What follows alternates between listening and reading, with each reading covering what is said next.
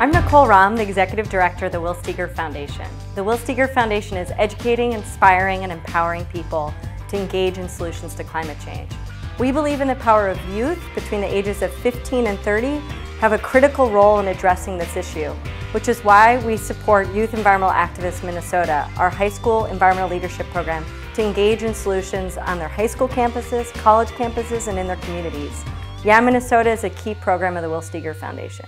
It's an acronym that stands for uh, Youth Environmental Activists in Minnesota. YAMN is basically a network of students who are passionate and concerned about sustainability and want to do something about it. One of the students' favorites, favorite events was the, the YAMN Lobby Day.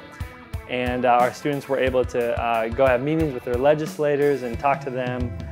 The most powerful experience for me that I've had with this organization is testifying before um, House and Senate committees at the Minnesota State Capitol about um, legislation that would lift a ban on building new coal-fired power plants in Minnesota. My personal favorite project that we've been doing at Roseville is uh, getting high school students involved at, in running an environmental club at the local middle school and uh, it's been really rewarding for both the middle schoolers and the high schoolers. Together we can do more action and have more of an impact than we might individually. If you're at all interested in environmental stuff, try and get involved.